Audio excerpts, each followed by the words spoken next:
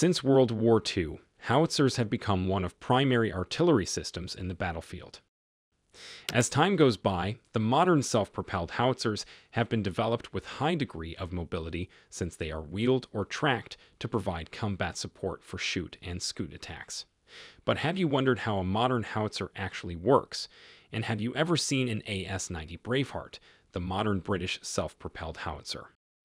Hello everyone. Welcome back to Military TV.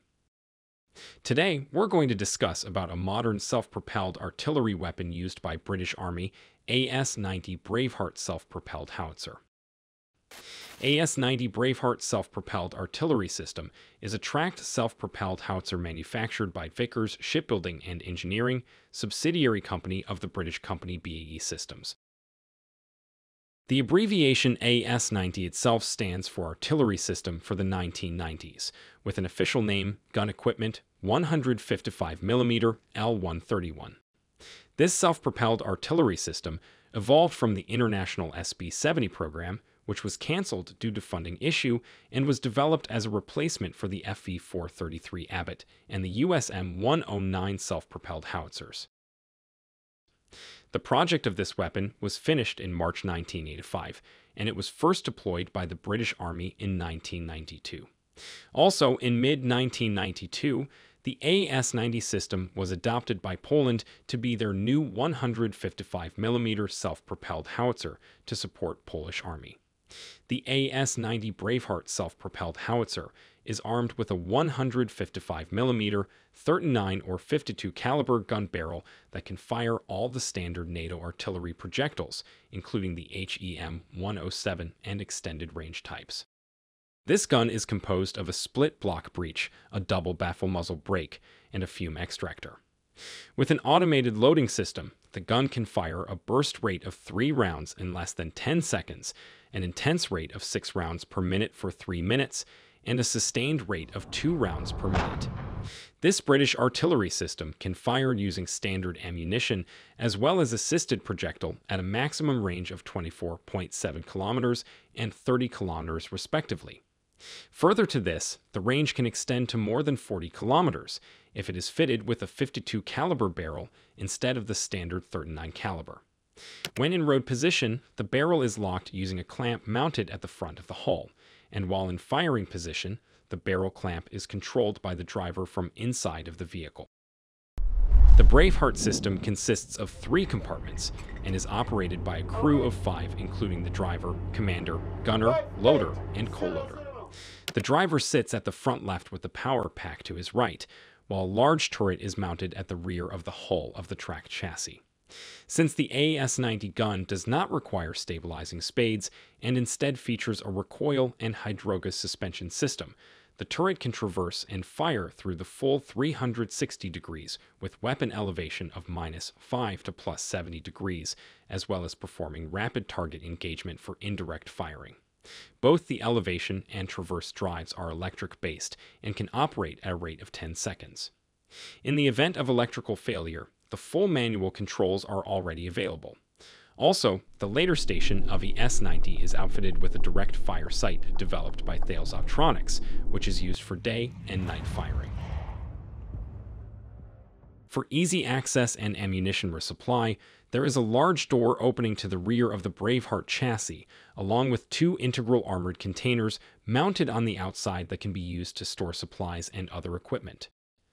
Besides that, five storage boxes are also externally mounted on the turret shell to be used by the crew member each, three on the right side and two on the left, with an additional small hatch. Most importantly, the AS-90 can bring a total of 48 projectiles, with 31 safely stored in the turret bustle in four magazine modules.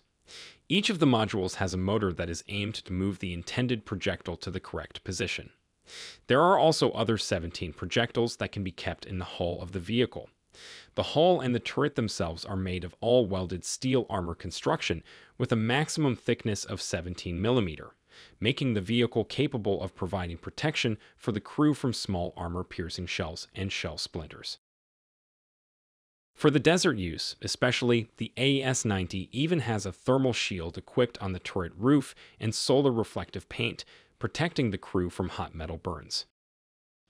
The AS-90 Braveheart artillery vehicle has a length of 9.07 meters, width of 3.5 entiers, height of 2.49 meters, and weight of 4 to 5.7 tons.